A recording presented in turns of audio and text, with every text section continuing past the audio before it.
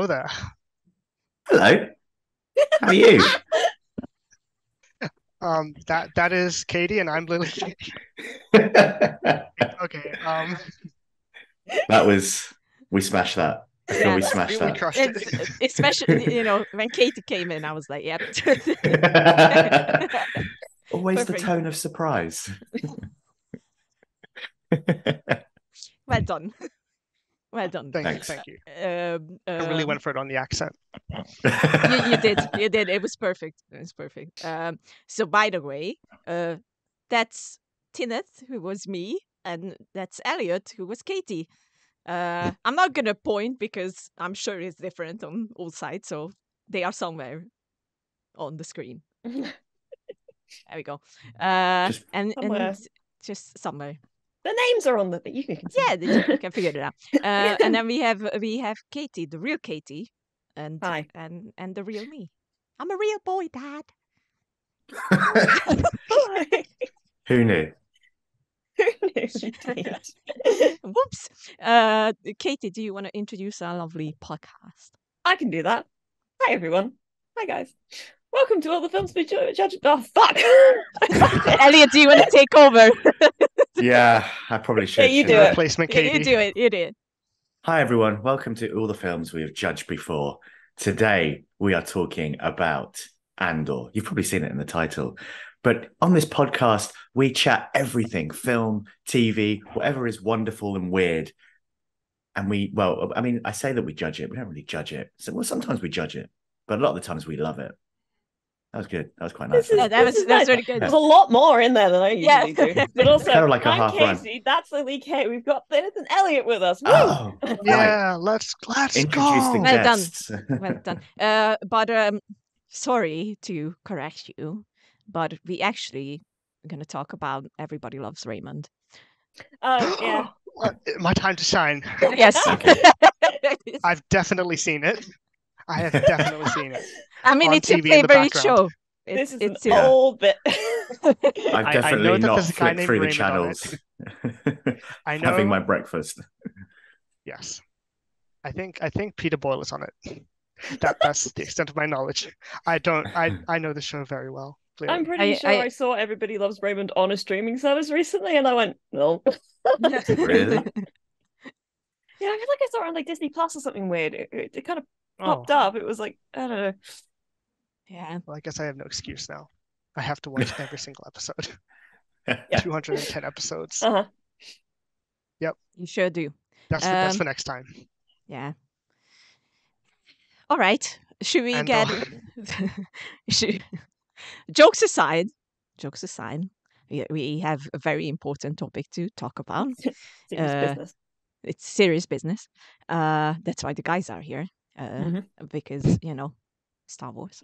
That's, uh, that's, that's, that's... uh, let's let's uh, actually talk about the topic we have for today, which is Andor. Uh, no. that just finished its run on Disney Plus for the first season, and uh, we are here to review it, discuss it, do all that stuff. Mhm. Um, so we're just gonna right, just jump right into it, and we're gonna start with the first question of what are your thoughts of it, just all together, like all in all, just quickly give a quick review of what did you think, and we're gonna start with Thineth. Uh, you know, it was it was pretty good. I, I kind of liked it. No, it, it it I mean, come on, it it's amazing. It it ruled. It's it's amazing for everyone. You know, every single reason people say it is. It's fucking banger TV. Incredible Fair. stuff. Fair, Okay. fair. Elliott, Yeah, I mean, it is easily the strongest Star Wars TV show. I'm going to say live action for now because I, I'm worried about recency bias and my feelings towards Star Wars Rebels. But I, yeah, I think certainly live action wise, it's it's the best Star Wars have had to offer on the TV front thus far. And in terms of overall, it's it's so far high up that list when you know you add in the films as well. If you haven't watched it yet, watch Andor. I don't know what you're doing not watching it. It's really interesting, actually. The views for Andor have been comparatively really low. People aren't Yeah. watching it, which is insane because it's the best things that It's- I, of my opinion, People, somebody who hasn't really been enjoying Star Wars that much for a while, it's the best thing Star Wars has done. Yeah, yeah. Straight up. Fair. That's fair points. So, I, I do I even ask you, Katie? That that's my thoughts. That's- that's your thoughts. Thoughts Okay. okay, okay, fair, fair, fair. Uh, yeah, it's pretty damn good. Uh, let's be fair. I'm not gonna say it's well. I do agree, but I also love Mando. So you know, for me, it's like Mando and Andor. Just Mm. Love them. Uh, obviously, two very different Star Wars approaches. Uh, so we're not even gonna compare them because there's not really point to it. Um, but we're gonna we're gonna go in the deep uh, to actually get to the points, which is very hard to ask because Katie wrote like a four-page long essay. Look, essay I'm not going to write it. Really, it literally it was a word vomit. I was just like, I went. You to are the see- Nemik of this group. Yes, Literally, as I was writing it, I got part of the way through and I went, I'm writing Mi- Nemik's Man, Nemik's Manifesto. That feels what, like what's happening right now. Um, I don't, I don't want it. It's a, it's a, it's just, it's just a mess. But I came out of um seeing Glass Onion yesterday, um, which was great, by the way. Oh yeah. If you can get to Fucking see it so within good. this week that it's out, I would recommend. It's definitely worth going to cinema for. Mhm. Um, I and I went to this little cafe sort of thing nearby. I told Dennis about it. He went to go. I went to it was the El Campo Lounge, um, and I sat down and I had myself some food and I asked the waiter for a pen because I forgot mine. and I sat and I just like rambled for like several pages about because I was like, I need to figure out how to put my thoughts into words because otherwise this entire podcast would just be me going. It didn't really work, but I'll figure it out anyway. Okay, that's fair. That's fair. Uh, I I have let's let's uh, look at the things that might have been wrong with it, if there was any. Like, can you think of something that you didn't like? I mean, there's there's only one minor thing, and it I think it was a lot of people's like one tiny thing they could have done a little more of, and that was just having more alien species in there. I think it was very very human heavy, which was a bit of a shame considering, especially considering the budget of this show already. Mm. You would have thought they could have got a few more alien species in there, but I think I think that's kind of a nitpick of Star Wars a bit anyway. And I know it was something that George Lucas always wished he had gotten more of in the original trilogy as well, which Yeah. is why in those special editions you see things added in a bit more. But yeah, I mean, you know, Not necessarily it's, well. it's yes, not necessarily well, but it's you know, I think for me that's a tiny gripe. Um tiny bordering moderate gripe. Fair, fair. Thineth or Katie? Anything? I still need to come up with things. you don't need to come up with anything. You could just say it's great. Yeah, Yeah, I mean, yeah, it, it, I mean, because it's hard because like I love so much of it that's hard to come up with Mm. negative stuff because it's just I don't know. I mean, there are you know little things here and there, I suppose. Like, I guess it's mostly just kind of um structural things with like some of the characters, I guess, kind of taking a backseat more so than others. Like I think Syril, my boy, does take a bit of a heavy backseat for most of the season, which I kind of get, but at the same time, it's like I don't know. He spends a lot of time eating cereal when he could have been doing stuff. So I don't know. That sort of stuff is a little bit wonky, but I don't know. Other than that, like I still love it. There's yeah, the only things I would say are things that I'm reticent to like complain about because it's the first Mm. season and I feel like they have a whole load of time for that second season to address a lot of this stuff. It's things for me like I did feel a bit like the um Cassian's like backstory got a little dropped as it went on because like the Yeah. opening to the the yeah. show is him trying to find his sister and then it kind of understandably goes away because Yeah, other things yeah. take precedent and all that sort of stuff um and I don't think that they've quite discussed enough the fact that he was stolen from his home and Yeah. the like ramifications of that but I also feel like that there's space for that sort of complexity to also come in in season two so I'm a bit like I don't really want to you know say it's bad it's just like it, I feel like it's something that does need to be addressed at some point and I hope that they do Hmm. that's it Gosh, I really Okay. forgot about that that opening storyline of him finding his sister. I completely forgot about literally that. the yeah. first sequence is him yeah, Yeah. it is. Yeah, yeah. on Morlana Yeah. trying to find his sister. It's the catalyst Jeez. for the whole rest of the show. Of Kinda course it is. disappears. Blimmin' heck, yeah. Wow. uh, what do we think about the argument that uh, it shouldn't be titled Andor because, you know, uh, people are saying that it wasn't really his TV show, TV series? Well, they're wrong because it is his show. It's just that he's not in it as much as I think people were expecting him to be. yeah. So we don't agree. No. No. yeah, no. I mean, all all roads still led still led north. Do you know Hmm. what I mean? Like, Yeah. Yeah. yeah, Okay. Okay. That was I would argue that Andor uh, covers um not just Cassian but Maarva as well.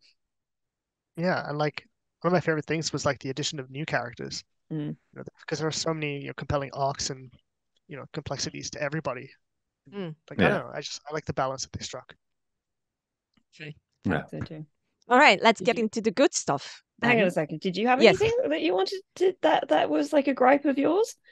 It was. it was because uh, there were times when I was like, "Is this really about him?" Like, you know, I we do get back to him uh, from time to time, and and you know, obviously everyone is looking for him.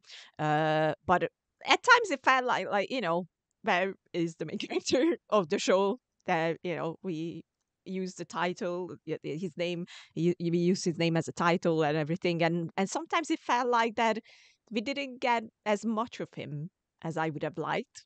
As much as I loved all the storylines, I, I felt like it wasn't in balance, I would say. I you know, when I get a show that that was our critic with Book of Boba Fett, obviously. Mm. Uh, and when I get a show that is titled after uh, someone, I'm like, where are they? then like, Yeah. you know. I'd Yeah. argue that in this instance, I did feel it occasionally where I was kind of like, okay, but I kind of would like to see more Cassian. But I feel like Cassian is a character, because he's a spy, he kind of exists kind of back from the front line. He's not the hero. He's just the, the sort of fulcrum of the entire piece. Mm. He, he can, everything swings on him, even if Mm. he's not out front and center doing stuff loudly. Um, and I think the show kind of reflects that in that yes, he's not like on screen all the time, but it's all Yeah, it's- about him. yeah, yeah, yeah. It's not even like you know being on screen uh, all the time, but you know, as you said it as well, like they start with that backstory and then it just disappears. Like I don't really understand then why did we need it then? I'm sure it's gonna come back in season two, or at least I. Well, I mean, it was so. it was a it was a start point. I think, as Katie said, because um, you know him in that bar and, and around that that area looking for his sister meant that he killed the two cops, which meant then Syril went after him, which meant then Luthen heard about him, which you know, and it kind of all spiraled from there. So Yeah. I kind of I get what you're saying, but yeah, I mean, Katie was right in saying how that that starting objective spiraled the rest of the show due to the actions that took over. But I think also, and you and you're right in that we had that similar gripe with Book of Boba Fett. And I think with Book of Boba Fett, I'm still trying to figure out how those Mando episodes, bar them arriving on Tatooine to help Bob, Boba Fett, no, it didn't really advance the character of Boba Fett. Whereas I think when you when when every character in Andor, you look at Syril and you look at Dedra, they were both after Andor. Like it Mm. was Syril's one motivation was to find Andor. Yeah, so I yeah. kind of think that it, you know, it still kind of links back in. Do you know what I mean? Yeah, yeah, yeah. But no, I- I, but I agree with- One kind of But but I also I also then do agree with you that hopefully season two does pick back up on Andor trying to find his sister.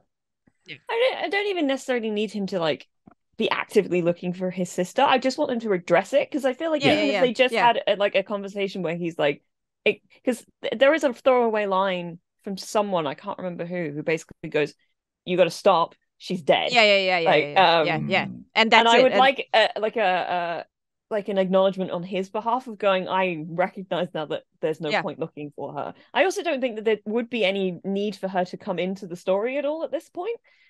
Um, Oh, obviously, but you know, like given the fact that he he goes back uh, uh, once he hears that you know his mother is dead, Mm. uh, I don't think that he would just leave the whole sister thing behind because someone said that like you know she's gone you should forget about her and No, she's, and he's I- like I- yeah okay it's like you no, know I, it, I I don't mean it like that so much. I just mean like other things have taken importance to him, or he's like something something has made him be- it, like the events that have taken place in the story so far. I think would be enough for, for him to uh, to kind of clear any fog on like or hope for on that front.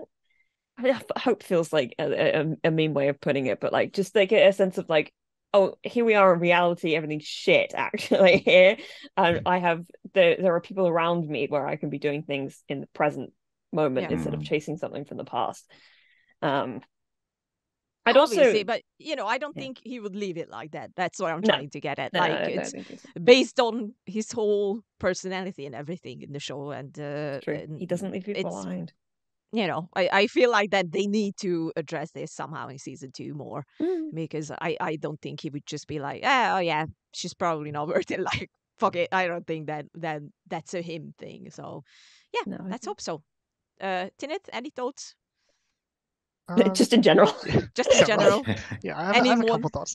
Um, I mean, I don't know. I feel like the whole sister thing was like it was it was interesting. It was an interesting bit of you know character stuff for him. But I think ultimately, I mean, he was a child and he was taken away. Yeah. And like you know, 10, 15 years passed. So I mean, I think it's more him holding on to his past rather than like an active like you know thing that they're setting up for season two more than like you know because like I mean it could be, you know, they could bring her in, but I feel like it's more just a case of him, you know, constantly being on the move and never, you know, having a place to settle down. Mm. Um, and yeah, just like, you know, because like that's his whole thing, right? Is that, you know, he's constantly having to look after himself. Um, and then gradually that kind of t ties into his, you know, path into becoming a rebel and like over the course of the season and also, you know, probably season two and then into Rogue One. Um, so I mean, I like the sister stuff, but yeah, that's kind of my sort of viewpoint on that.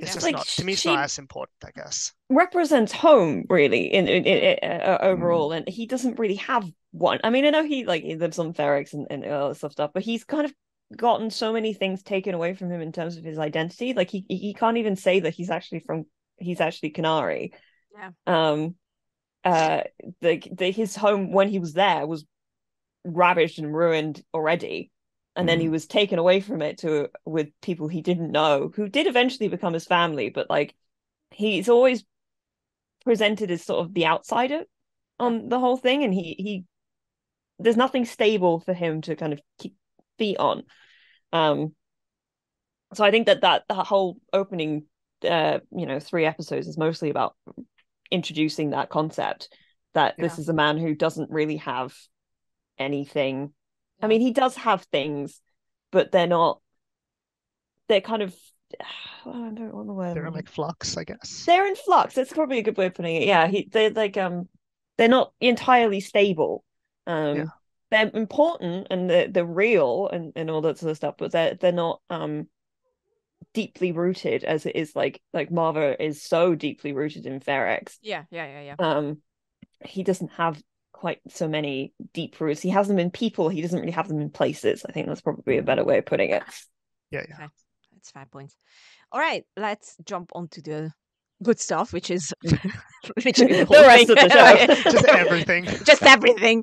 Um, um, I don't really have any questions. I'm more interested in like general what did we really like, and you know whatever you want to point out. I, I would just I would just leave it up to the crowd that we have Well, here tonight. I was thinking we could talk about it in like sets of like the arcs because there's a couple. There's like uh, Yeah. I have about five arcs in the show, three big ones and then a couple of small ones. Um, so we got the first arc, which I referred to as Ferrex, and then I put escape in brackets. So that's episodes one, two, three, three, where it's basically him trying to get off Ferrex and and uh, is you know get away. Um, and then I have Aldhani, obviously, which is four Mhm. through six. I Mm. have Fallout, which is just episode seven, which arguably is the beginning of the Narkina um arc, but I think is is separate. I think it stands on its own. Um, and then you have the Arkina, no, no, sorry, Narkina, Narkina five arc, which is um eps uh, eight through ten. Um, in my opinion, the best arc. Mm. it is the best arc. Um, Mm. and then uh uh the final one, Return, Maarva's funeral in brackets. 11 through 12.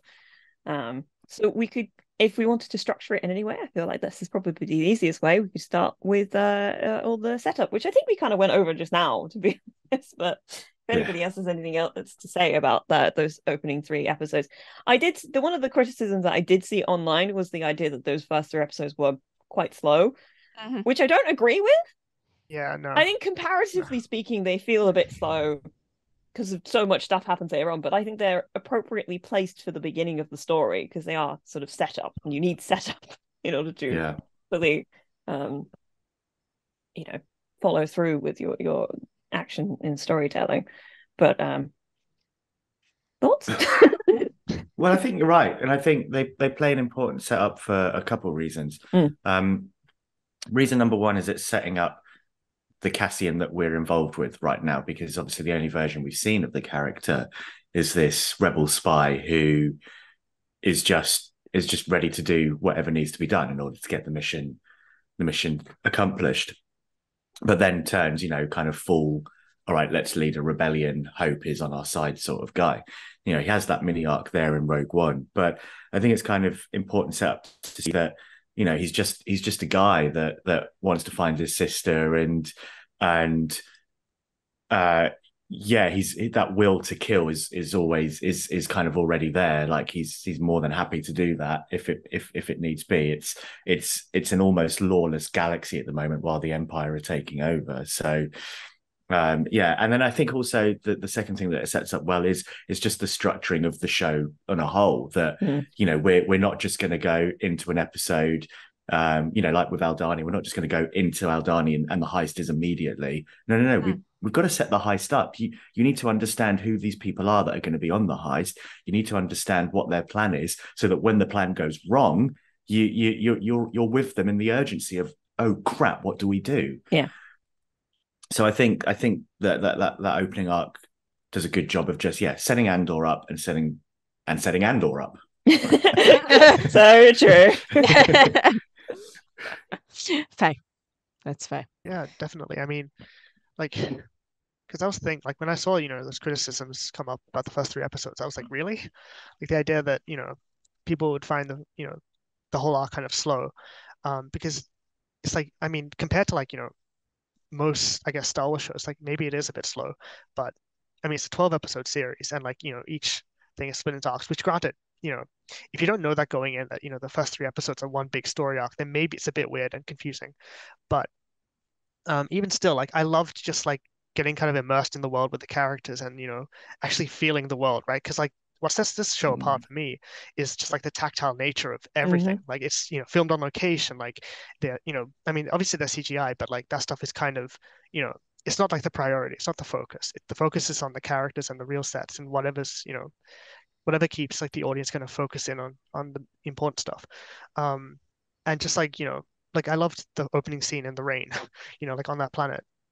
Um, you know, because you just you just feel how tense it is for Andor, for everybody involved. Um, and that feeling like carries across not just like the first three episodes, but like the entire season. Mm. And I just I loved just like the depth of the show in that regard as well. So yeah. And then everything goes to shit in episode three.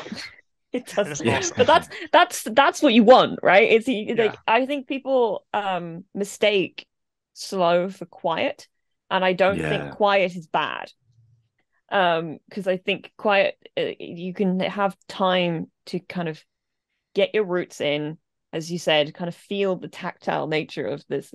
I think I I read a, a thing from the apparently the production designer uh came at the whole you know design of the show from the perspective of somebody doing a period drama as opposed to trying to like make sci-fi so it all feels very much like and it's it's one of the i remember i had this one of my massive gripes with the, the cowboy bebop right um uh live action series is that the whole thing just felt cheap.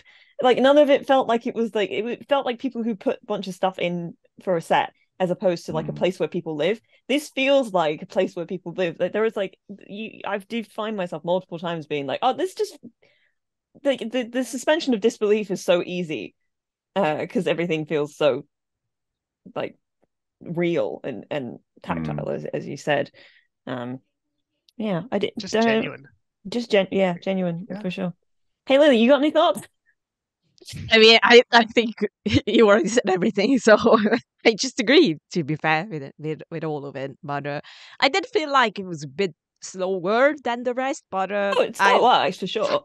yeah, I didn't mind it at all. But I, how I do don't we mind. feel about Tim? Listen, Okay, if you if you give people into snitches, get what's coming to them. Tim That's an asshole. I didn't. I, then I know. Like, I think that's what they tried to do. Is that like you know, uh, because he, for me, he clearly does it out of jealousy. Oh, Uh, Oh, Yeah, yeah. he does it out of jealousy and what I think kind of is a twisted form of care because he thinks he's protecting her. yeah, yeah. yeah, yeah. And it's like you know, I was instantly like, oh, I hate you so much. like, fuck you, Tim. Uh, I still was a bit shook by the fact that they just killed him. Like you know, all said Oh, and done, and I Welcome was Oh, like, fascism. Yeah. yeah, I I, mean, was that's like, another oh, thing about the oh, show. Okay, okay, yeah, all right, Characters just die. yeah, Like Yeah. it's it's Yeah. very dark, but it's it's real. Yeah, the the all of the shots of the the like um anything anybody who gets shot is like it's Mm. really because it's like it's one shot and they're just dead and that's it and you're like ah. Like that girl in on Kenari, I was like, holy shit! uh-huh. Like that, that was sad, but yeah, it was it was very real. Anthony, I do have a question. Just this is like a, a um structural thing, and I'm just trying. ma- ma- I was it was the thing I was a little confused about, and I didn't know if I was like misinterpreting it. They mentioned the mining disaster on uh, on on um Mm. Kenari uh, part of the reason why yeah, everything kind of blew up there, and then they also referenced that everybody died. Are those two different things? Because it feels like there was because it was clearly a mining planet, but the mine like the quarry that you see is clearly abandoned. So it seems like Mhm. everything blew up beforehand, and then there was this second instant where this ship came down, and then uh, they tried to strip it, but uh, the one of them died, and then he stays to you know smash the place to pieces, um, and then he gets taken by Clem and, and Maarva because it clearly the Empire's coming back to get it. And then was there the genocide of the rest of their people? I just I, that lost me a little bit. I was a bit confused by the timeline. I, Yeah, I have no was idea. a bit confusing. Yeah, it is a bit Um, confusing. That's 'Cause, like- as long as I wasn't just being silly. yeah. I mean, I did see a theory that like all of the like the whole tribe are children of the miners there. See, this is Like, what I was they all died. thinking. Yeah, Mm. It but seems they like didn't like they- outright confirm it. Which No, and I don't think that's such a bad thing because the show's Yeah, yeah. clearly doing it. It's eff- making an effort to not just like spell things out for the audience. But the impression that I did get was that these are all kids who were the children of the miners, and that whatever mining um catastrophe happened killed all of the adults, and then they all had to look after themselves. And then this second thing happened, and they came back and killed everybody else essentially. But I it's don't know. also like I think it takes place during the Republic era, so even that that you know makes things more confusing. Honestly, it's like, wait, hang on, so this is the Republic that did this? Um, so I don't know, but I'm sure there'll I be a need book somewhere that explains it. All right. Anyway. But uh, also B2EMO. Yeah. Best character. uh, Katie, let's jump ahead. Aldhani, Eldani. Aldhani. What do we think Let's of Aldhani? so I I I, I loved Eldani because I think it did it, it did a lot of things brilliantly. A the slow burn that we've talked about, but it it it really introduced us to this new set of characters as well. Because especially what happens to a lot of them, you a lot of other TV shows could easily throw those characters away very easily, Hmm. and yet we care about Nemik. I mean, Nemik I think was kind of the standout secondary Mhm. character from that arc. Oh yeah. I mean, both Vel and and and, and Cinta Cinta. are great. I think they're both both great characters. Vel, especially like the double life she leads, I think was really interesting. and the But, uh, conflict in her about that because Yeah. she's so on board with the rebellion, but she's also like, I have, Tired. I have, yeah, Yeah. yeah. Well, this is it, and, and you know, and she has she has privilege, and uh, she has privilege through her, through her family, which we later find out as well, which I thought Mhm. was a wonderful twist. yeah, it was good. Mhm. Um, but but but Nemik somehow just I, I I think what this show does really well, and it and it began to be and it be, and it really was drawn out in the Aldhani arc, was just capturing how different people feel about fascism Mhm. and about and and and and the lengths that they're willing to go for it as well. The fact that Nemik, he's not just there to to rob to, to to take part in this heist. He's written a whole manifesto. He's already thinking past this heist. He's already thinking, what is the larger picture? How do we, you know, the you know, this is what's happening. These are the ways that we can take it down. This is what it feeds on. This is how it will implode on itself. Like everything is kind. He's already having all these thoughts, and I just think that was really wonderful. And it's just speaks to the larger world. And then we see a lot of those things get drawn out more when we go to the prison um, and how everyone feels there, you know, and how Kino is in opposition, but everyone else is like, oh yeah, but we could do something if we wanted to. And and and that starts now in Aldhani. And then one other thing I think is that having the empire building their structures on on spiritual land, on land that does belong to someone else. And you know when you have people online that are like no star wars isn't political it doesn't do any of that blah blah blah blah blah where you know when return of the jedi was literally just like here's the vietnam war Mm. and and you know and and and and tony gilroy's doing that again he's picking straight straight up where lucas left off and and you know building on sacred lands and and and the way that they're just like oh yeah they'll do their silly ritual and we'll just let them do it and Yeah. then they'll then they'll f off and then we'll see them again next year and i just think that was it just showed the pompous nature of the empire and the arrogance that when the heist you know when they pull the heist off you're just like of course they pulled the heist off because the empire would never think anyone would actually do that Which and that is is what gets set up at the end of the the first arc, where where Yeah. Luthen's this sort of like, well, how did you do this? He goes, I just walked in. They're so Yeah. up themselves, they don't recognize when someone like me gets in there. Yeah, yeah, yeah. literally literally and it's and and and and and and, and that goes back to to to to a new hope the fact that that you know the rebels launch x-wings and y-wings against the death star and the empire are like it's just some stunt fighters like we'll just swap them down and, and we'll go blow this planet up easy no worries um it just it just aldhani for me was the start of by the way this is this is what george lucas was doing. And now Yeah. we're doing it in the 21st century. Hmm One of my little uh, season highlights I wrote down was seeing the eye and then when and the representation of Yep. the natives. Because I think it's really it, it's quite important that natives themselves when they are actually represented on screen are so um they're, they're treated with such respect by the story by the filmmaking yeah like like the empire are making fun of them but the the film the filmmaking and everything we see of them is decidedly done with respect and a lot of Mhm. reverence for the things that they're clearly like they, this is a massive pilgrimage that they go on every um seven years or something like that wasn't it i can't remember Yeah, I can't specifically remember. um um and it really it really shows that with a lot of and it it's the faces it's them weeping is the the it goes across the sky and Mhm. all that sort of stuff that I found it very moving.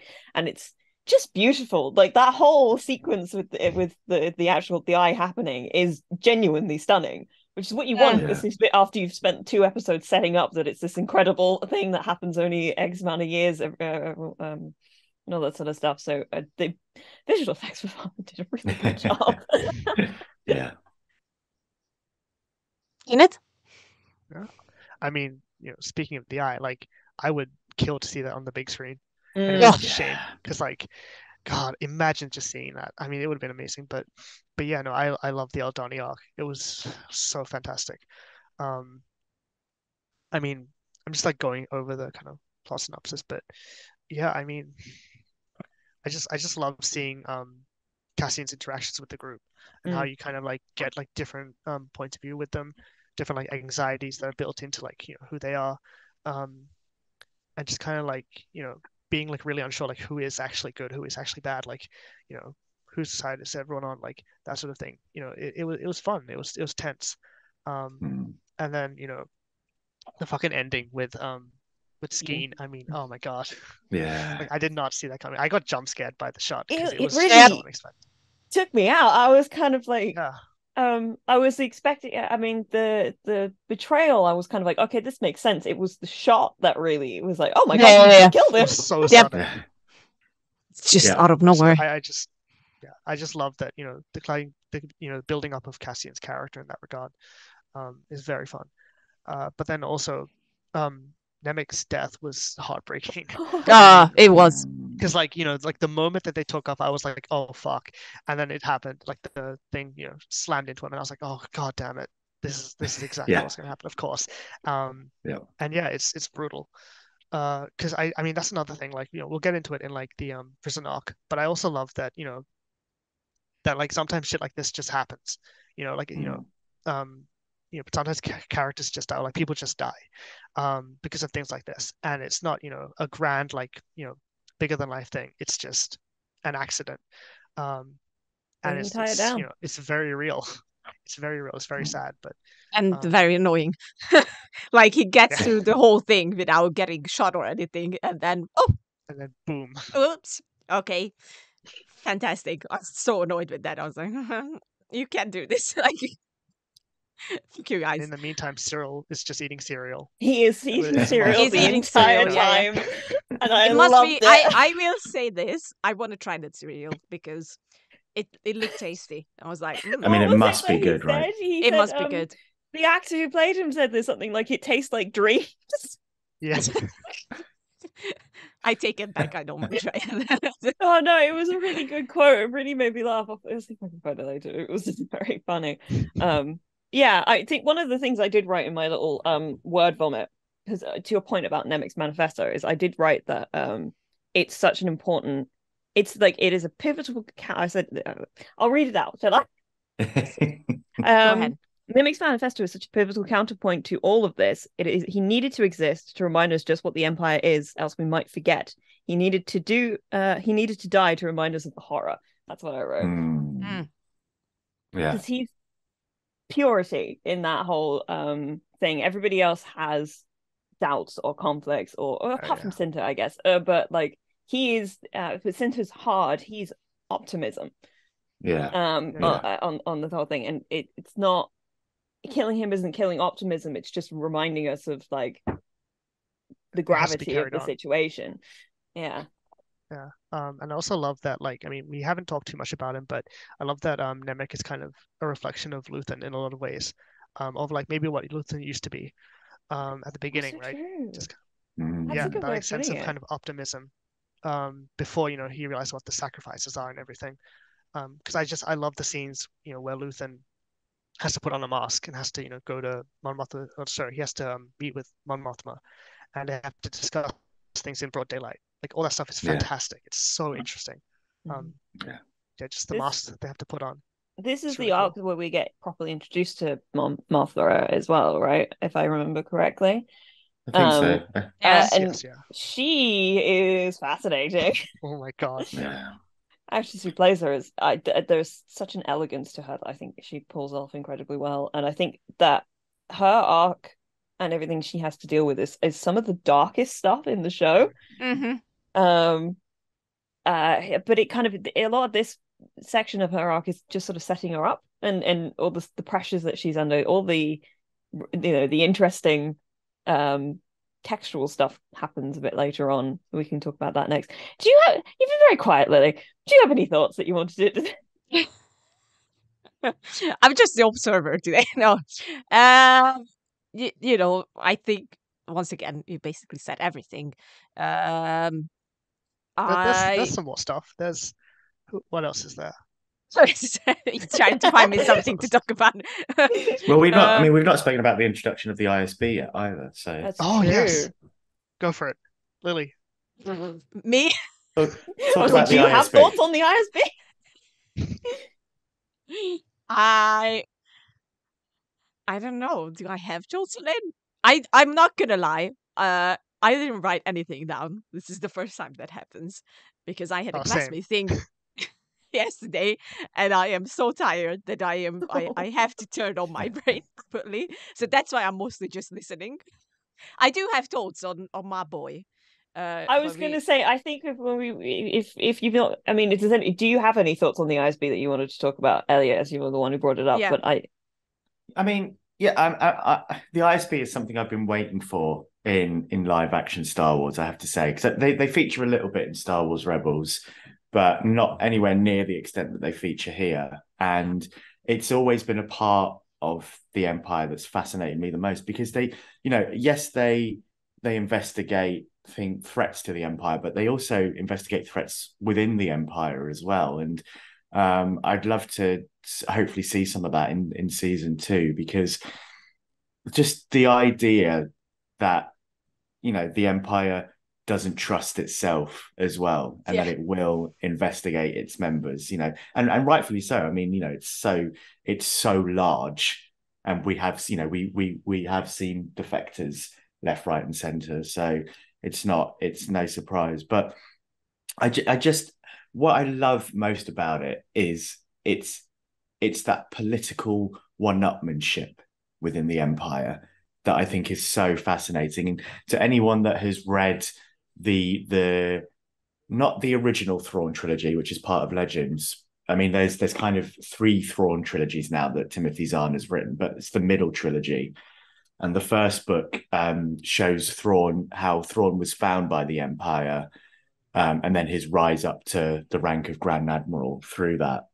Mm. And it's just so fascinating the politicalness of it all and how how the other admirals and generals, everything they do to try and and stop Thrawn rising up the ranks mm-hmm. It's, is just brilliant to watch and how he just masterminds them all. And and you just got to see that here, how everyone was trying to bring down this lovely lady here and she just masterminded them all. Do you know what I mean? Like it was just great to watch. I just and I just love I I, I just I love that that we're we're you know everyone's playing everyone all the time and who's going to come out on top which is is you know when you've got this organization that is so well it's not even an organization this this political fascist Superpower.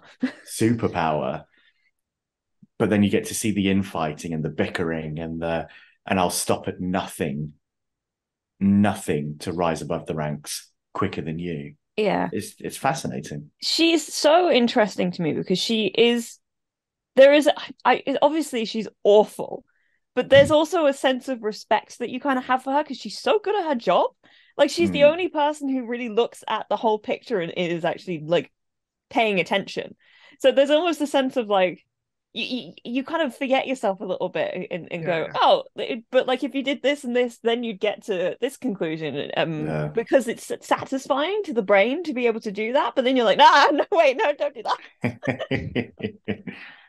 Oh yeah, I was Uh, like fully rooting for her for like good like three episodes, and I was like, oh wait, shit, I shouldn't be doing but this. the, and this is something that the show does really well because even you know while we're sort of coming out the end of the Aldhani arc, the, do you remember that Imperial officer who was in in the wall? He was at the top of the wall in that little control room, Mm. and and he's the one that ends up putting the alert through, getting the alert through that that that the rebels are in. And I find myself going kind of like rooting for him to to to figure it out and and hit the button because in the episode previous they'd had because they take the time they'd taken the time to set his character up as well and to give him some you know well characterization the fact Mm. that he was excited to see the eye and and everything and and and and then to and I think that's what just the show does brilliantly that yeah like Finn if you are rooting for Dedra even though she's an Imperial ISB agent supervisor you're just like what is going on There's a great quote from um, Denise Gough uh, that, where she was talking about it. Um, she was saying at the beginning you kind of root for her because she's a woman in a man's world, and by the end you realize that she's just a fascist in a world of Yeah, yeah. fascists. And it's like, God, I love when actors are smart about the roles that they're yeah yeah massively Yeah, Good. Um, well, the we've got the fallout uh, from Aldhani, which uh, I think is important to bring up because of two things. One of them's a bit superfluous, the other one's actually a bit more um, you know, meaningful and deep. The first one is that the the introduction of the the K robot, which actually, like, honestly, got me in the gut. I really wasn't expecting. I was like, oh, the face I made when he kind of pulled into the screen, I was like, oh my god, it's the fucking robot. Because I don't know shit about any of this sort of stuff, really. I just was like, hey, he's in Rogue One. And that that was enough for me to be excited. um the second thing is the way that Cassian gets arrested is Oh, very um poignant uh, and you know re- reflective of a lot of things that are going on in our society nowadays. I think it really, considering this is a Mexican man being arrested for doing nothing, that the, the the context is there. Well, and it, and it, and it, and it echoed what happened to Clem as well. You know, his Yeah. sort of Mhm, mhm. almost lynching. Do you know what I mean? I mean, like, it was Oh, a yeah. lynching for the yeah, for which, real. which which is just like again when people say Star Wars is not political, and it just literally like No. and a, lot of people like I've seen that a few people actually had a, an issue with what happened to Clem, and I, I can understand it because it is it's a difficult image. Yeah. It's a really difficult image, and if you if you ever you see videos from that actual time in America, like you can't like I I can't watch them, you know, and I, and I doubt a lot of people can. Um, and it's probably where bringing in a few more alien races might have helped a little bit Yeah. because you can you can get a little more distance from it. But but you're right, like it, you know, it it it, it it's again just Tony Gilroy perfectly mirroring our world and just saying, yeah, this happens by the way, people. Yeah. This happens. Yeah. I just wanted to bring that up because I found that mm. that whole sequence was so like nauseating to to then- to watch. but then not even just getting arrested, get, getting given six years for just six being in the yeah. wrong place. Yeah. Yeah. Like, oh, For just being in the wrong place at the wrong time. Yeah. Like, yeah. Let's talk about my boy. Let's go on to Narkina Five. 'cause This, yeah, I when I said this is the best goddamn. in the series, I'm not fucking lying. It's so good. Go on, Lily. You you might Go, as well Lily. take the lead on this one. Yep, go for it. Hi. Uh, first of all, here's a little did you know uh, fact. Um, his name, Kino, is German for cinema. Yep. Yes, it is. Oh. Yep. Yep. Yay, Tina didn't know. there you go. Well, I don't- I don't know di- anything. I didn't I'm put those two things together. I just I was like, that is a thing I knew. I just didn't really think about it in the context of the character. You know what I mean? Yeah. I was like, ooh, Kino. hmm, Well done. I like notes like this. I'm like, okay, well done, well Mhm. done. First of all, let me just put it out there. Uh, when I watched that episode, and obviously the whole concept is horrifying that you can get electrocuted uh, on the fucking floor if you do something wrong. It's like, oh my god! When they introduced it, I was like, no, no, I don't want this to exist anytime soon anywhere. It's just awful. Uh, and Mm. then we go down, obviously, to taking Cassian down, and then he turns around, and I was like.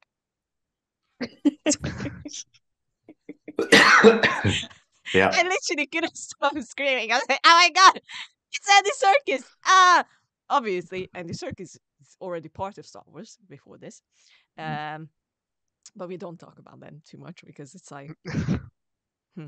uh, I'm so glad he got a second chance to come back and you know be actually himself. We know he's the king of mocap and and all that stuff, but like, I like to see his face. He's he's a great actor, and he's he, He's so good in this as well. He's so freaking good at this, and I I love that he was the counterpart of of Cassian uh, in the whole three episodes that then you know he, he was in. Uh, I I loved how Cassian realized that he needs to convince uh, Kino to move as well because otherwise it's not going to work. Uh, because obviously his whole mindset is so dead set on this thing that if I do this and if I you know finish my thing they're just gonna let me out and i'm gonna be fine. So therefore there's no reason for me to to go against the whole thing. And then once he starts to realize that hold on that's not what's happening. It's like i i love the switch. Like he's still terrified and i think andy just did a fucking amazing job Mm. of of showcasing the whole emotional uh, turmoil that he he goes through like uh, when when Cassian tells him to to actually talk to the prisoners and and tell them what to do uh the whole struggle at the beginning like oh oh my god i don't know if i should do like it's it's still there like i shouldn't go against this because what's going to happen afterwards uh if if we are not successful like you can just see his his thoughts thoughts going around and uh and then and then he turns around and he's like yeah you know what fuck it and he gives one of the best i'm going to say one of the best speeches There are a lot of great. Yeah. That Of is the- definitely one of them. but it's it's definitely one of them and and i loved how he just you know pumps himself up more and more as he talks about it and and you know it's Yeah. it's just such a fucking great uh character arc for him and that's why i fucking hate that he says that i can't swim and that's all we know and i'm like But yeah, but as I mentioned to, to you uh, after we got through that, that it is representative of like the whole season because we did the idea is that we just don't get to see what happened to people. Yeah. We don't get to see what happened to Cassian's sister. I mean, we did get to see what happened to Nemik, but like it's in the similar sort of vein in that it, it's like the people just either they they likely just don't survive. Like Yeah. it, they, these they they they get picked off and it's it's it's um faceless and terrible and there's no like Mm. Um it's, it's still fucking annoying it is annoying, but That's that's the point. Yeah. i know it's the point but it fucking annoys me like it's like ah fuck you guys uh i and it did say and you know we we might see kino again so i'm like please i'm just so hopeful that it's happening yes please uh, i love the uh, the drawing that you sent then he's just floating He's just got a little floaty. It's fine. it's, He's it's, fine. it's like oh yes please i i like that idea so much i'm just gonna uh, handle it as that's the truth and that's what happened the Uh, thing is, it, it is ambiguous enough that, that he could have found a way off. Like that, Hell that- yeah. it feels it feels like I- It I was feels, talking yeah, to yeah. a friend of mine who was like, "You can't." She was like, "You can't tell me there was no like boats on this entire Yeah, yeah, yeah, yeah. thing." Mm. And it was like, yeah, you know what? It does make sense that there might be something that he could have So- yeah, yeah, found in some way, shape, or form. But the the I I just think it's like it was so heartbreaking and narratively was perfect to watch. He didn't give it. He doesn't get a chance to try and help him. That's the thing. He just gets knocked Yeah. out, it. yeah yeah and yeah you yeah, don't yeah. get to see him again. And it's like, oh, oh god. If, uh, I I I also like these episodes because I think I think this is where we saw uh saw Gerrera again in one of the Yeah. episodes. Yes. Yeah. And and I One of you know I'm just favorite gonna put it out there like Forest Whitaker is my other big thing. I love Forest Whitaker so much. So when when he showed up, I was like, ah, because His- we didn't get enough of him. Like, you know. I honestly think he- one of his lines is one of my favorite because there's a lot. I mean, there's a lot of dialogue in this season that I absolutely yeah. adored. But Yes. him and, and Luthen talking to each other about Antor um, Kreegyr and, and the decision to sacrifice him and all that Yeah, sort of yeah, yeah. stuff. Um, where he's like, um, uh, he said, "Let's call it war," and I went, "Fuck." Yeah. So raw. It's so Let's call it good. war. I'm So like, good. oh. That's another one of the many points of the season where it's just like, ah, there's no other way to articulate this. I just want to yell. yeah. Yeah. Uh, so yeah, the whole you know this whole prison arc is just brilliant in my mind, especially because the whole thing of them doing this very monotone uh, uh, job to put these things together that they don't even know what it is. Uh, Mhm. It's it's just you know I think it it builds so much. Uh, just I don't even know how to say it. It's it's uh, huh anxiety, I guess, in a way. Yeah, It's, no, the the, it- the tension that is like Yeah. into this entire. Mm. I I think that's one of the best. Um, I I mean, I love every single episode of this arc. Obviously, um. No, I, I was going to say obviously the, the last episode's the best, but I was like, no, hang on a second, they're all really good for different reasons.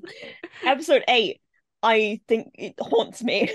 like, Yeah. I think about him because they he doesn't say there's no there's no dialogue about how he's like freaking out. It's just on his face. Like he's just Yeah. fully dissociated with the entire thing. He's just sitting there like, I, uh, what the fuck?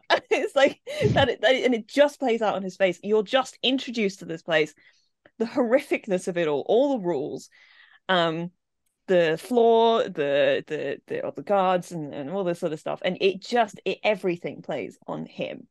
Uh glassy eyed and and like what what the fuck has just happened But Um, it shows, I mean, it must show like as to how long he's been there as well. The fact that Andor walks in and he's already figured out this, this, this, this, this, this. They're not listening. They're not listening to us. We can talk about whatever we want. They don't care. We're just here to build this thing for them. And that is it. We're nothing. And and and Kino's just like, yeah, just shut up, right? I'm out in I'm out in 60 days or whatever it is. Like, leave me alone. And and and yeah, and, and then as you say, like yeah, as soon as the re, you know, it's probably something Kino's always known, but now that he can't deny it, it's been Mm. said in front of Andor Yeah. as well. Everything that Cassian has been saying this whole time, it's now been confirmed by someone else in front of Cassian Hmm. and Kino. Yeah, and and Serkis just delivers it. Be- Yeah, Like how many guards, and just that little beat, never more than twelve. Yeah. I can't. I was like, I was like, I have to wait a week. I have to wait I a know. week. Why are you doing this to us? I was I was quite fortunate in that when I started watching it, episode 10 had come out. So I Yeah, was yeah, able yeah. to go straight from that into it. But I, I had to sit and bask in that moment because it was so well set up, Mhm. so well executed by the end. Because it's like that th- these arcs are such beautiful, like three act stories, basically. You've got the Yeah. first episode, which is the setup, and then you kind of have the way that things change, and then you have the conclusion by the end, right? yeah, um and having that sort of anxiety inducing middle episode where he's like nobody's fucking listening and you have you get to watch Andy Serkis grapple with the reality of the situation as as his like perfectly ordered world starts to fall Mm. apart around him Mm. poor Yeah. Olaf Olaf Yeah, oh oh, man don't, don't. just so sad. Um, but then I also what I really love about this arc as well is is um is is the mirroring to the Thirteenth Amendment as well in Yep. America. You know, the fact that the Thirteenth Amendment uh, outlaws slavery except if you are if you are detained and put in prison mhm. and then you get put to work, and and the fact that you know once you've been in prison once you've been incarcerated if you make it out the the like the percentage of prisoners that go back into prison Mhm. and this just goes and I love that this just goes well you don't even make it out you, you just go straight back in Which is you just go you onto another Yeah. floor Yeah, yeah yeah, yeah. Well, Yeah. that was the. I think that was that was the huge thing was that it, they. I think it's not that they they try not to put you on another floor. It's just that that's what happened in this one, and it got Yes, around enough that they had to kill everybody. And it's like, Yeah. yeah because I'm assuming because uh, uh, am I right in remembering that when Cassian arrives we see that it's not just that facility there are other facilities Mm, next yeah, because they, they they they sent them off to a, a whole bunch of different places, and he Yeah, got yeah, sent yeah. to that one because he was Yeah. designated that he could do labor. Was basically yes, it. yes, of course, yeah. Oh, oh, it was just everything about it. My God. And then, yeah, and then just the actual prison escape was just thrilling. Just so thrilling. And I was in tears because I can't lie, like I'm gonna get a little deep right now, but Yeah. for a long time I have felt here in the UK we need a French revolution. You know, we need to just barric- barricade the streets around Downing Street and just sit there and just and and and I think it just speaks so much truth to power. The fact that you know, like, how many guards are there? Never more than twelve. Well, great because there's there's there's eighty of us in this room, so that's easy. And and it, does it just speaks true to the power that we the people actually have. You know that there are more of us and. I've always said that, and it probably goes for a lot of countries, but I'm specifically here in the UK because I know it. That if the working class actually came together and we stopped allowing ourselves to be divided, Mm. we could change everything, Mhm. everything. Well, and I think that's one of the things that the show does really well is that it shows the, especially in those scenes with Saw, where they point out the consistent infighting when it comes to, um, Yeah, it, especially, I mean, it, it doesn't call them leftist politics in this, but it is leftist politics basically. Um, nobody can decide on a course of action because some people decide that this thing is too uh, extreme or this thing's not extreme enough, and all this, and then you have everybody yelling at each other, and it's like that's what they want. the whole point, they want that. keeping us in that circle, keeping us in that circle. Yeah. Yeah. Ah, ah, it's just ah. It's it's stunningly, it's stunningly good. Finit, you have been quiet for a while. I want your thoughts. Um, prison not good. No, I mean, look, I um, because like the thing we didn't talk about, which I, I mean, we we kind of have to talk about, is Luthen's speech at the end Yes. because we definitely talked about that. But before that, um, I just want to talk about the end of episode nine because that, dude, that wrecked me. Um, just like the whole like the kind of like combination of um Olaf's death, which like again speaking back to Nemik's thing, it's just like you know sometimes a per you know a person Mm. just dies of a stroke. Yeah. There's nothing you can do about it. It's just sudden and it happens and then they're gone. And like the fact that we got, you know, a character getting euthanized on a Disney Plus show in you know, Star Wars. I was like, Jesus Christ, Yeah, this is so yeah. fucking intense. Um, but it's like that's what I love about the show. It's like they're not afraid to like actually dig into you know something Mhm. deeper and something more real. Um, so all of that was fantastic, and I love that that's the final push that Kino needed to actually like you know snap out of it and go, okay, fine, I'm gonna help, you know, this prison break. Um, so I thought that that whole kind of like chunk of the episode at the end was fantastic. Um, but yeah, Luthen's speech. Lucen's I mean- speech, man. Because like I mean I love that everybody is just like latched onto it because it's so good. It's probably my favorite speech in the in the entire series Mm. because it's just like it's just like poetry. It Like, it's is. like, Yeah. I've read full-on- it so many times, and it just reads Yeah, so beautifully. Like Mm. even Yeah. it, like it, it, Stellan Skarsgård like delivers it so incredibly well, but like the writing in it in and of itself is so oh yeah, on point um that it, it's just like oh of course this is Yeah. stunning yeah. yeah, and, just- his I mean, I- delivery I- is like yeah, oh yeah. But like the way that like, cause like I knew that the speech was gonna go with him saying everything, but the build up to it was so good, and then he says it, and it's punctuated with the echo, and it just gives me chills every time. I'm like, the fuck, that's so good. Just the way that he says everything. Um, but yeah, I, I loved that entire sequence because you never know, like you know, you don't really know what's going on with Yeah. him and, and the um ISB agent, and then you finally figure it out, and it's like, oh shit. Um, Mm. Just all of that was fantastic. Mhm. and Yeah. um, ah, brilliant. Just it, just S tier writing, just so good. But this is it, and like so in that delivery, he's like he's so still that you can tell these thoughts go through his mind 24-7 on Mhm. repeat. It never Mhm. stops. He know like you know, I mean, we know that we know that I know that we know that he knows what he sacrificed. Mm. But you know, that because he could he could be like trying to find, oh, I did this and I did this, which is not really great for screen acting, but but it, yeah, he's just he's just point his eyes are just fixed and he's just it's like it's it's there, Lonnie. It's there the whole time, Lonnie. So Yeah. you're still my guy, mate. You're still in there. Go Yeah. fuck yourself. I just oh my god. nobody gets out of this i need a hero you need to be it yeah. you don't get a choice it I doesn't matter But I just love the, the depth of the writing to be like, you know, this is what it actually means to, you know, sacrifice everything for a cause like this, you know, because like, you know, it, you know, obviously like the original trilogy still works fantastically and like, you know, it's nice to see things on the macro scale. But like zoom in this closely to be like, this is what it actually means to start a, a movement like this. You know, like Yeah. you don't get like, you know, someone like Luthen doesn't get to, you know, be happy essentially and to, you know, Wait, make connections. yeah it, it's people. like i really like the fact that if you compare this to the original trilogy. It is sort of like yeah normal people don't just get to wave around a magic wand and make everything better. Um there's there's a lot of work and sacrifice and we don't just get to like we have to try. And that's Yeah. like, we gotta try. We don't just turn up first day on the job and blow up something huge because all that work's been done for you already. Not discrediting everything that Luke Skywalker does in the, in the original trilogy. It's just there was a lot of stuff that went in before. Yeah. Yeah. Yeah.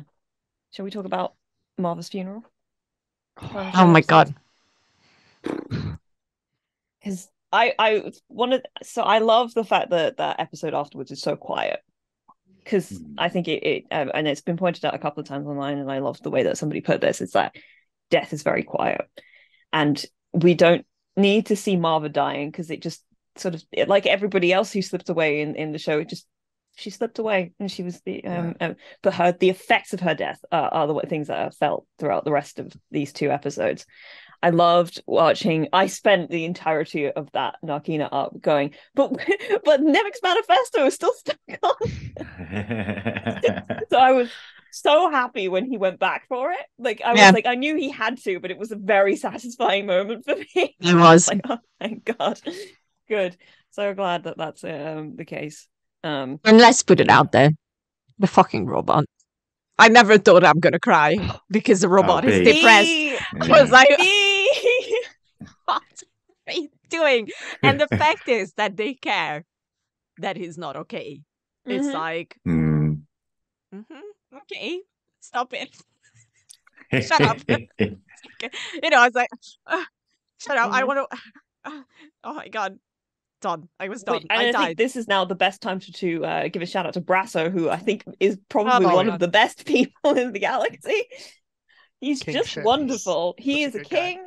He's just so kind. Like he Mhm. he shows up for people, even Yeah. and if he shows up for B, he shows up for he shows up for Cassian. When Yeah. Cassian turns up in that first episode, goes, "Hey, we hung out last night." He's like, Oh, yeah, instantly. I love the writing Yeah. as well. It's just like he just instantly gets on board. It's like you don't Yeah. have to explain it to the audience. It's just like yeah, he just gets it. Yeah. Yeah. Fantastic. But then also can destroy stormtroopers with a brick. So there's March Oh, yes. Satisfying. Satisfaction of them. It's like, yes. Which is just great. Been so proud. it's great. It's great. Um, um, one, I, I will uh, start this with saying that my brother is, is you know, is, is like not really affected by a TV show or a, or a movie Mm. or anything. Like you know, he enjoys it and watches and and has thoughts on it and whatnot. Mm. It's like you know, he watched the final episode before I could watch it. So I was like, okay, am I gonna cry? I don't think you're gonna cry. And I was like, that's not a good episode. Then why not cry? Uh, and I literally, I came home, uh, I sat down, I put on the last episode, and like I don't know, ten or fifteen minutes in, I was already crying, and I was like, "What are you talking Was- about?" okay, Like, okay, but like, was it was it the the the Maarva's final words to for, course for. Cassian? Yeah, that got me. I I was I was I mean I didn't like cry, but I was re- it really moved me. Yeah. especially just the just the sentiment of I love him more than anything he could ever do Mhm. wrong. Yeah. Ugh. Yeah. What a line. What a line. with that kind of juxtapose not juxtapose but like alongside her um uh cassian in episode seven being like i'm just gonna worry about you the whole time and she goes that's just Yeah. love nothing you can do about that yeah, yeah, yeah, like, yeah. how do i deal with this it's so good Ugh. So Yeah. yeah, I was like, I don't know what my brother was talking about, but I was like, it destroy me. Like the last episode literally destroyed me. yes, uh, oh my god.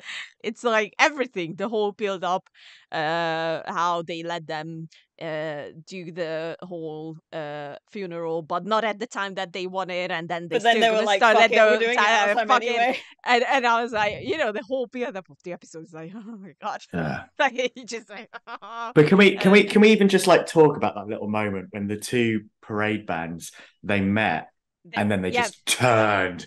Yeah, and I just went I was like ooh, every so okay i've watched it once but i've heard that music twice Yeah. in the house when i'm not in the room because my parents watched it and then my bron- my younger brother watched it. Both times like the, all three times watching it and those two times where i wasn't watching it but i just heard the hmm. music i felt something shift in me. Like yeah. it is such a moment in in the just in the because it's like it's such a slow march.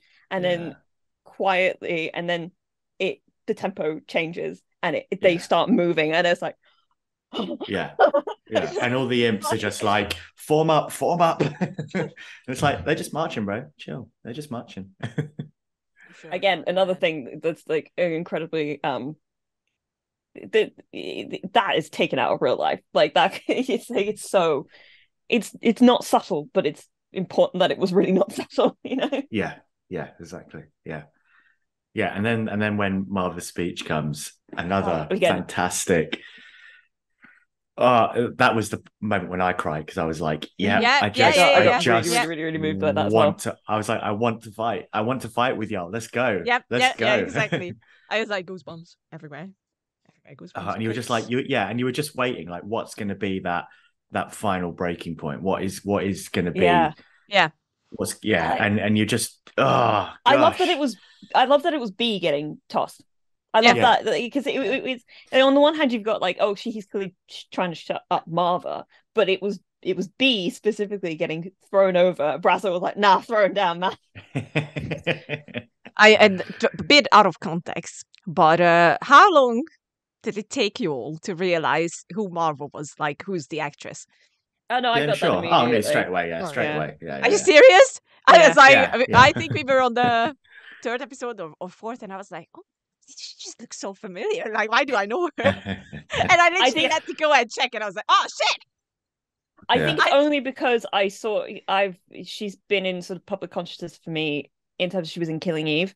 That and Yeah, yeah, and and and uh, that um that that was the only if I hadn't seen her in anything since like Harry Potter, Yeah, yeah, yeah. Um, I don't think I would have put those two together because I. It I took don't, me a I while to don't put think those I've seen together. her since then. So that's why I was like, why are you so familiar? Plus, she gets to be like have her actual accent, which I love. So Oh, yeah, it's yeah, just yeah. lovely. Yeah. um, Oh, she's. She's so she's good. fantastic. so freaking good. Like, you know. You know, we haven't talked about Bix. Yeah. Yep. A little bit of Bix. Who wants to hear what they used as the sound to torture her? Because I was like, I was Absolutely like, not. I was this like, you You know, have got this, some sick and twisted curiosity, don't you? you. Really, I what like, is it? hey, It's why? the screams of with the sound children, isn't it? Dying children. I, I was like, oh, I, I don't hear it. Like, but yeah, Mm. Here, look, Katie knows this. I think you guys know it too.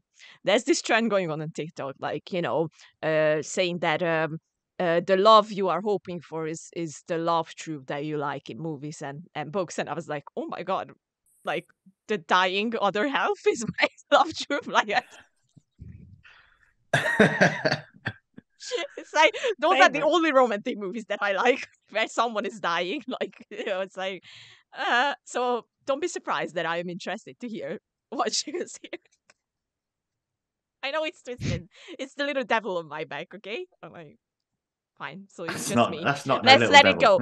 Let's let's let it go. It's I everything that happened to uh Bix was um uh horrific. awful. Yeah. Fucking Yeah. awful. And oh god, I mean she- she's so bright at the beginning of the season, and by the end she's so like ruined. Mhm. And I'm I I can't decide what I want for her in that second season because on the one hand, it's been pointed out that the the way that Cassian left them, he might not see them again. Mhm. Yeah. Yeah. Um uh and I I mean, oh, fuck. oh god no.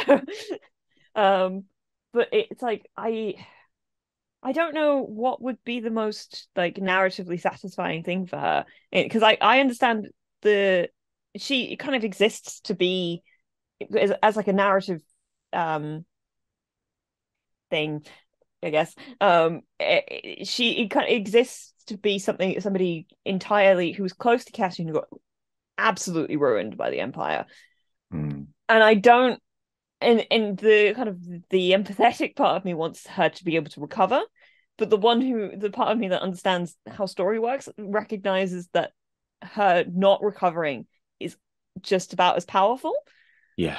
Yeah. Which sucks but like it it it, it it's it, it sits as something very very important that could um be very resonant within uh, the rest of the storytelling so i i really don't know what i want for i just wanted to point out that um uh, the I can't remember the, the name of the actress who plays her, but she was stunning throughout the Oh, entire thing. I really, Just really had it up as well. Yeah, Is it Ad- Adria? Adria Arjona? Something like that? Yeah, I literally just had it up. I was just looking. Adria Joy, you're absolutely right. Yeah.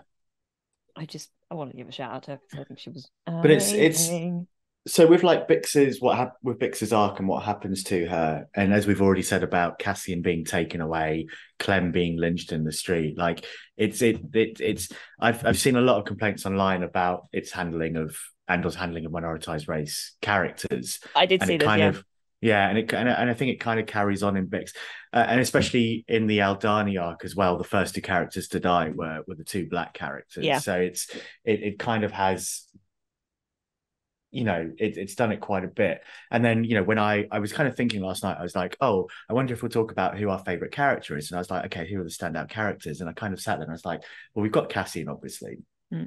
but after cassian we have Syril we have kino we have dedra we have luthen we have mon and i was just like oh there's a bit of a pattern forming Mm. with what's going on here but then at the same time i'm like but but what tony gilroy has done and, and his writing team have done is that they have really really reflected the world that we live in and the way that that a lot of well certainly western fascism anyway because you know the, obviously fascism is not just in the in the Eu- europe and the us but Mm. um you know the way that he has kind of mirrored it in this sci-fi world to have the characters still living and still standing on top compared to the characters that have fallen it it it does it, it might it might be a bit too much but it does sort of sing true as well. And you mm. know you know we, we've lost the likes of skeen and, and Nemik as well. So and and and Kino has you know we don't know his fate. So it kind of it's not just it's not all just happening one way and, and another way the other. So it, it, it does find a little bit of balance, and especially as Cassian is is our main guy on top by the end. But I think yeah, it's it's just really. In, I think what is interesting is is just how it reflects so well the world we're living in, and and that the people that are affected more are minoritized race people, especially in in in the UK and the US. Um, and then along with that, people uh, just just the working class. So you know, I mean, we don't know. I, I can't remember what Kino's backstory is, what he was doing before he was incarcerated. I think the thing is we don't know. That's that's Yeah. one of the most the, the most Yeah. beautiful things about that prison arc is like the only conversation we get about what would what did you do to get in here is is um I think Melshi asks Cassian. It's like, what did you do? And he goes, I did nothing. He goes, Yeah, there's been a lot of that, and that's all Yeah. we get. That's like all it we doesn't get. matter what all in any of the prisoners did because even if Yeah, they did do yeah. something wrong, that's not the point. Yeah. No, exactly. Exactly. And and yeah, so it's it it, it I can understand the, the the the trepidation people have had with with the handling of minoritized race characters in here, but at the same time I'm like, it also does just sing very true. I I, I think for me personally, I I believe that the trepidation I felt about it was because of how reflective of real life it is. Yeah. Um and and and and then it bleeds into my one negative of could a few more alien races have helped to just distance that a bit? Yeah. I think also we just with the season two we could just have the other side of that in that we, we Yeah. get to a point beyond it. It's like we've seen the horror of the empire now. Now we can see the the you know beginning of the downfall. the beginning of the proper rebellion in in like because we've got Cassian who's decided to oh, and with that final scene where he's like lost everything and Yeah. that moment where he's like kill me or take me in that he means that like that he has nothing else like he, he he in that moment he does not know which way that's going to go and it's like oh Mm. Mm. I feel things you got any thoughts there Uh, definitely. I mean, I'm gonna be honest. I'm totally gonna derail things because the only thing I want to talk about is the fucking Syril scene with Mosk in episode 11. The fucking scene of them talking. Look, I know yeah, we've had a serious discussion, and I respect everything that you guys just said, but also, where where is Andor? No, I'm on Milano. Where is Andor? The funniest fucking shit I've seen in Star Wars in a long time. Just these two idiots talking past each other. I I loved it so much. Uh, It's cringe. Uh, anyway, it is But cringe but what- that's why it's great that's why it's it's funny. cringe. what makes it so much funnier as well is that up. we we can we can all hear what Mosk is saying and understand it, and it's just like, how are you not getting this, Syril? Yeah, exactly. God, it was so funny. Because all Syril wants is to know where Andor is. That's all. That's his entire character. It's just where is Andor? And then Patrick. Gets yelled at by his mom and then goes like hides in this room and just stares at a little picture of Cass. yeah, just eats cereal, look, looking like this. Steals money out of his mom's safe. So funny. This, this is the part where we talk about Syril. Because I mean, it, was it was always going to happen. I mean, come on, we have to talk. I about. honestly think he's fascinating, uh, and Yeah. it, it plays a really interesting role. And I think, um, Hmm. again, I, don't, I haven't looked up any of his bloody names. Um, the gentleman who plays him is um Oh yeah, uh, Kyle. Kyle Soller. Thank you. Um, I I just really think he's got an interesting and and sort of slightly magnetic presence because even though Yeah. he's like he's he's he's properly cringe. He's so pathetic. oh, that He's- scene when he shows up outside the building is just It's- brilliant. Oh, It's also terrifying because there's so It many is layers the terrifying. whole thing. it's awful. It is so terrifying, but at the same time, it's like, my God, you're really like, and it's like you feel for her in that moment because he is he stalked her, and that's creepy Yeah. as hell. Because he turns up, it's like that conversation because I have some literally interrogating you, but okay. But then, speaking of him saving her in that last episode, led to one Hmm. of the most like, honestly, like stomach churning in a, the most Hmm. brilliant way moments uh, uh, of uh, of the episode where she's terrified and he saved yeah. her life, and he's so calm about it. Especially Yeah. compared to where he was in episode three when when Cassian tied him up and was Oh, going to yeah. kill him which was that he just like completely fell apart like a wet blanket. Um, just like it, her like shaking in that sort of like th- there's two different there's so many different things going on in that scene and i think Mm. it's fascinating. I'm really interested to see where that relationship goes in the next season because it's it's I, th- there was an interesting quote i saw from tony gilroy where he's like there's all that stuff of like being terrified and like being kind of scared of him but there's also and th- this is what he said he said um uh nobody's touched me in a really long time. That's what she was thinking Yeah. and it's like oh Yeah. like, everything about It's- that is It's horrible. very weird. I was, I was, I got tense and anxious with that scene because it. I mean, it really looked like they were about to kiss, and I was like, Oh, yeah. this is gonna be, No, this They is were going to so- be really weird, and it's. I, I'm glad it didn't happen because I was like, it's going to take me out if they do. uh, yeah, yeah. I, I was cringing so hard during Yeah, that horrible. scene. I was like, ah, I wanted it gone. Like, please let, just stop it. It's I really- awful. a really really interesting post from somebody on Tumblr who was talking about how in these authoritative like spaces in these like fascist spaces there are like two types different types of people that there are people who actually want to be in control and the people who want to be controlled and there is that's the relationship like that that's the that's where they exist in this space and it's all really toxic and that's very much the point and i think um there is going to be so much to digest and um chew on specifically in in that relationship when we get more of it um yeah, yeah Alrighty. Uh, we we went overdrive in Andor. look i when you said you were like 50 minutes i was like that's not going to happen No, no, no. I was like, at least she's an optimist.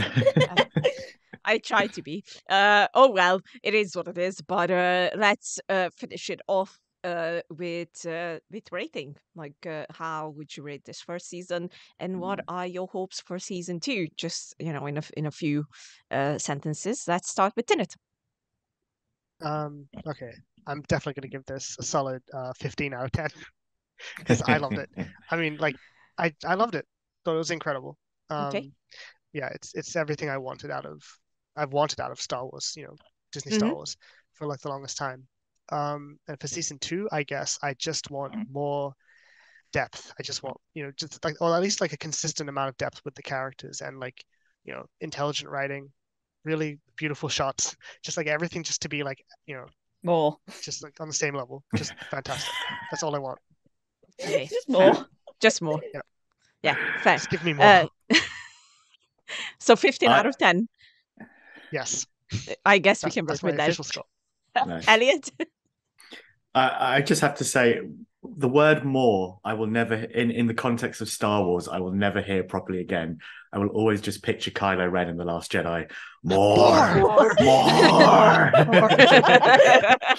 It's just, it's it's uh, it's just a great scene. Anyway, Yeah. Um, what would I rate it? Yeah, I, I, I'm I'm kind of unsure. I'm going to do a, an out of five star rating, and I think I'm going to go for a four point seven five.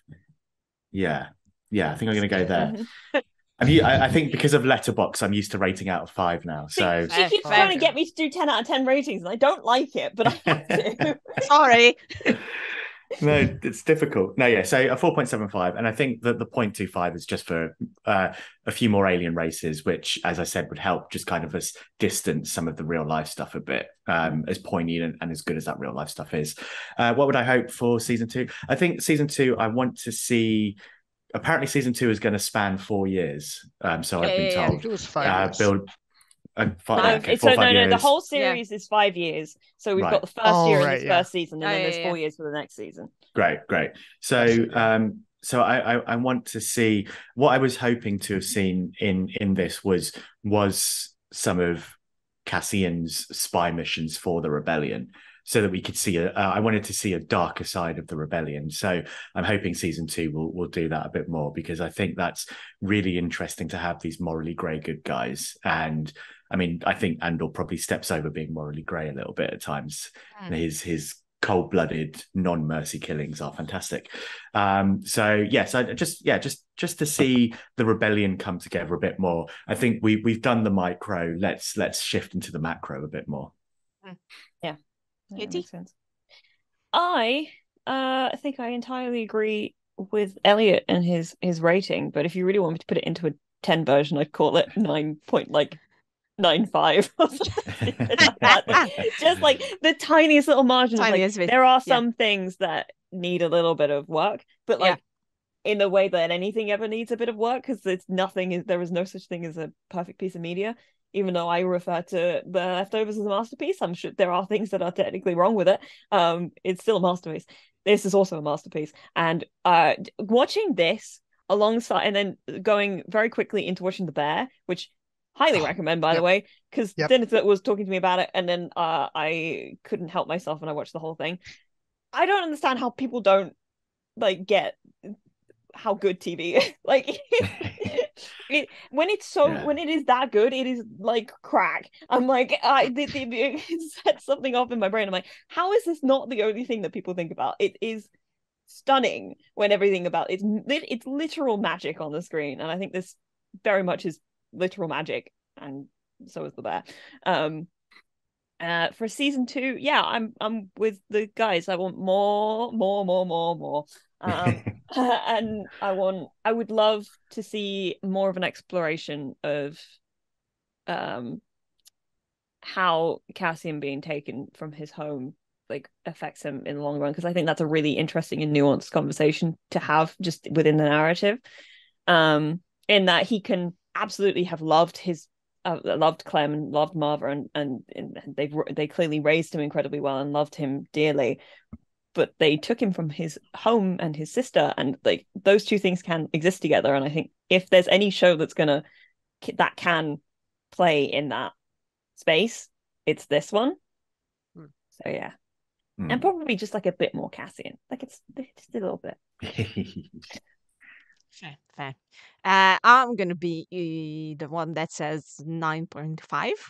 Mhm. Uh, and because of the thing that I mentioned before, that I need more Cassian. Like that's that's Mm. my only thing. Like uh, I loved all the story arcs, but I needed just yes, as you said, a tiny bit more. more, yeah. a little Just a bit. little bit. Just a little bit more.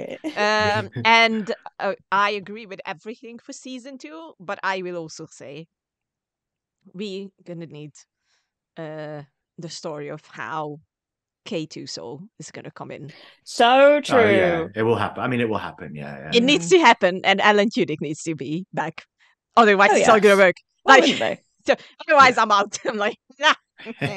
it's Alan Tudyk. yeah, no, we'll we'll, It- we'll we'll definitely see K two. It would be I really do. nice to actually be introduced to to everybody. I'd love to see more Bodhi. Um, because I remember really him being my favorite when I watched the when I watched Rogue One, and uh, I I've mentioned this before. I had my issues with Rogue One, which I haven't watched again yet. I'm going to. My friend and I are going to hang out in a couple of weeks, and she was like, "We could watch Rogue One," so I'm putting it off until then. But I'm gonna I'm gonna watch it again, um, to see if my criticisms hold up. I feel like they probably do, but I feel like I might look a bit more favorably on it now as opposed to them and I did um back then. Can I just do like a real quick full circle moment as we end this? Because the day I went to see Rogue One was that it was it was January 1st, 2017.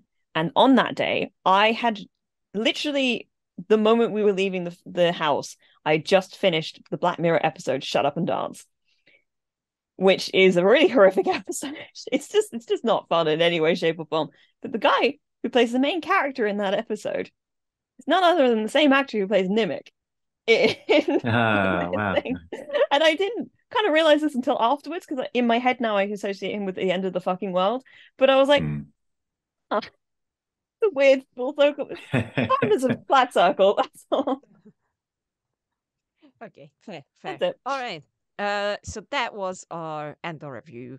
Uh, with special guests, uh, Thineth and Elliott. Uh, please check out Elliott's uh, channel. Uh, they're gonna put the link down uh, in the description. Hakuna MaChatter. Um, and uh, check out Thineth uh, as he t- tweets a lot about movies, a lot of times I- and TV shows uh, on Twitter. so definitely And his Instagram. and his Instagram Yeah. and everything. We're gonna put everything which is in private, the description. Is it? No. Uh, Yeah. And and yeah, this was us. Uh, we're gonna be back with uh, Jeffrey Pierce. Uh, I and should read uh, his book.